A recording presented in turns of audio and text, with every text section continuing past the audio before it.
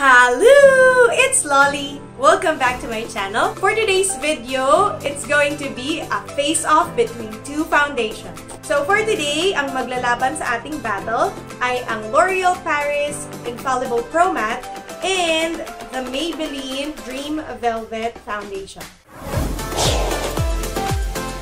If you want to find out who's gonna win in this battle, please keep on watching! Lollipop, lollipop, oh, lollipop. So on the right side of my face, that's your left, I am going to be using, whoops, L'Oreal. And then on my left side, that's your right side, I'm going to be using Maybelline.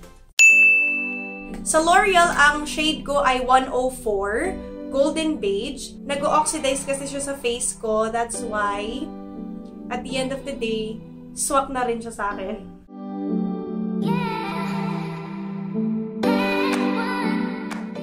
Now, for this side, Maybelline. So, sa Maybelline Velvet, my shade is Sandy Beige. That's number 60.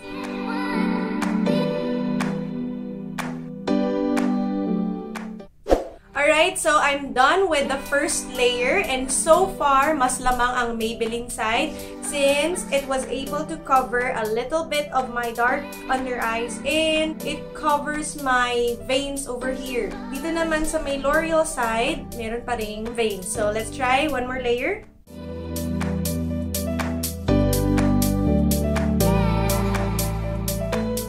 Alright, so for the coverage, I'm giving the point to Maybelline. Obviously, sobrang flawless ng aking left side and then medyo nakikita ko pa rin yung mga veins.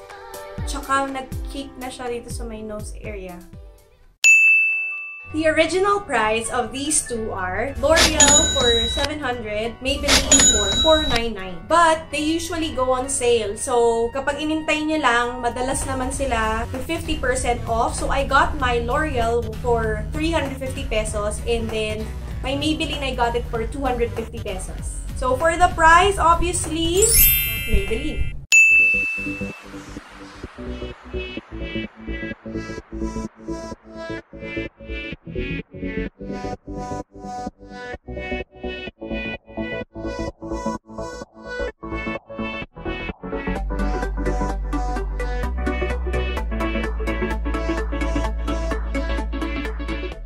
Okay, so ito yung nakuha kong oil from the side of Maybelline and this one from L'Oreal.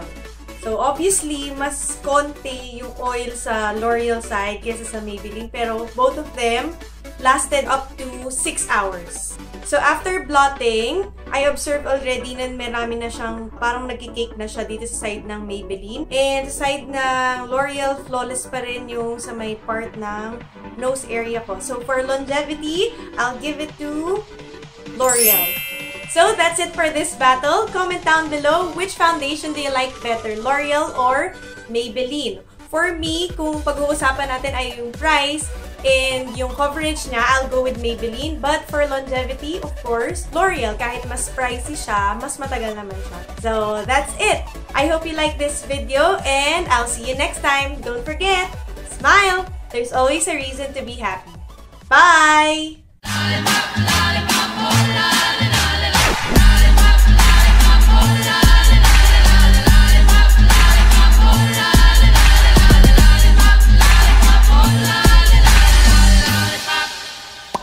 boom, boom, boom.